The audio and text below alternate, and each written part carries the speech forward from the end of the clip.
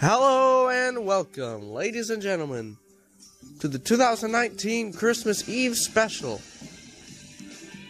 for the Froot Loops 400 with the 2019 NASCAR race cars and drivers. 19 drivers ready to take the green flag here.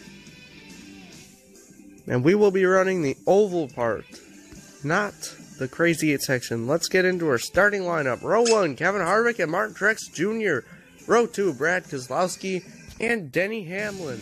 In row 3, we got Kyle Busch and Alex Bowman. In row 4, Joey Logano and Ryan Newman. In row 5, we have Jimmie Johnson and Clint Bowyer. In row 6, we got Larson and Ricky Stenhouse Jr.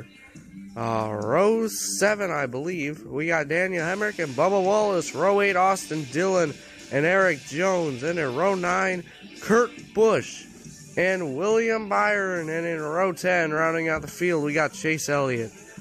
Now, here's some race info. We got 8 laps today. Kevin Harvick's on the pole. And we have a 0% chance of rain.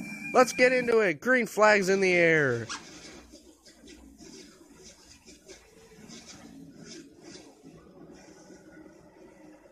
Harvick comes by to lead lap one. Whoa, we got three wide for second place now. Denny Hamlin and Kyle Busch battling for second. Hamlin really making that outside lane work. Now Kyle Busch. Oh, Kyle Busch goes around. I think he just got loose and maybe slid up in front of Keselowski. Then Keselowski maybe got into the back of him and spun him around. I don't know. Oh, yeah, that's exactly. Oh, my gosh. He almost took out Johnson, too. Johnson with a wreck avoidance there. That could have been bad for him. Busch now out of the race with that that grass and the tire wheel, wheel wells.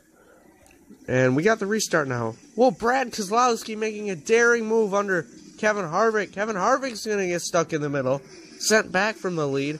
Now here we go. We got one lap to go, presented by Credit One. Oh my gosh! Huge crash for William Byron. That will end the race. Denny Hamlin was out front at the time of the caution barely edging out Keselowski down the back stretch. Denny Hamlin wins on Christmas Eve. Here are the race results. What a race! And thank you guys for watching. See you next time.